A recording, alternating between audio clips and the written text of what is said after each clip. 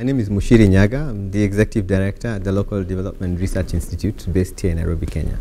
My name is Steve Nyumba from the Local Development Research Institute, and we are excited to have partnered with the CTA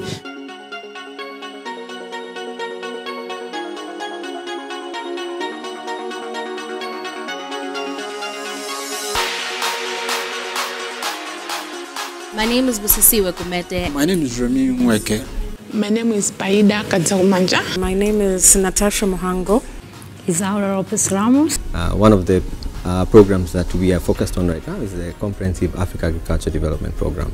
So we have been very keen to just take through the participants who are coming from different parts of Africa. We've had about um, 10 participants from different countries, and um, the whole time we've gone through issues to do with data, issues to do with what is open data, how do we source for open data, how do we use open data, and how do we tell our stories better using open data.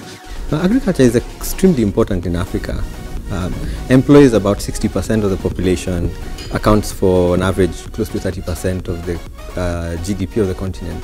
Therefore, if you have to think about moving people out of poverty, ending hunger, reducing inequality, you cannot do it without paying attention to agriculture.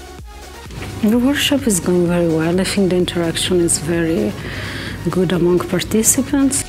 This workshop has been really insightful. I think the most important thing was to understand what open data is. I think it has been very helpful, very applicable to my job because um, every year we're dealing with statistics. Open data, honestly, I think you, you need to study it as, as a course like we have done today. With them training and empowering media locally too, this uh, kind of training is always admired and requested because there's no time you get to a training you won't go home with something reasonable. Even if you miss from your colleague, you learn from your colleague if you can learn from those who are tutoring you. What I, I think as a journalist, as someone who has been working in, in the media for five years, I have to be honest, I haven't really dealt much with data, you know, and this was a very exciting moment for me, you know.